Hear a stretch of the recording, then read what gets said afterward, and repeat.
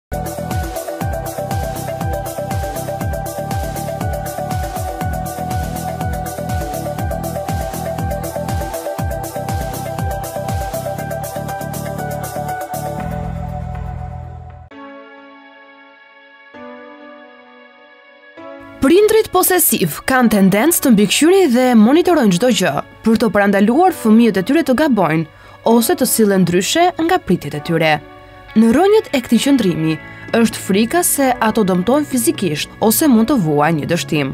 Por gabimet, përpjekjet apo stresi janë kushte themelore për një rritje të mirë të fëmijëve.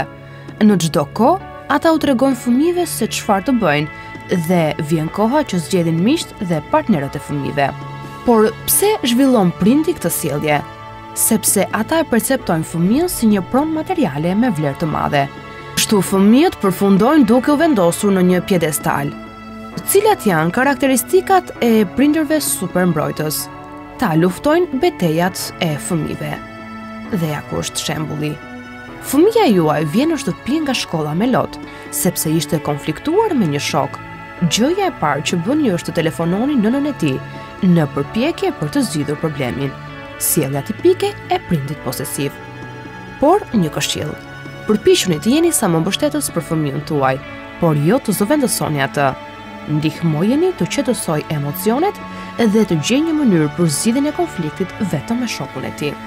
Prindërit posesivë bëjnë detyrat e shtëpisë në vend të fëmijëve.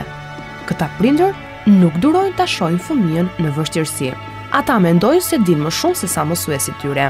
Nëse fëmija juaj ka një problem gjatë punës në grup, flisni drejtpërdrejt me mësuesin. Ju mund ta mbështesni atë, por ama mos ndërhyni në punën e tyre. Prindi posesiv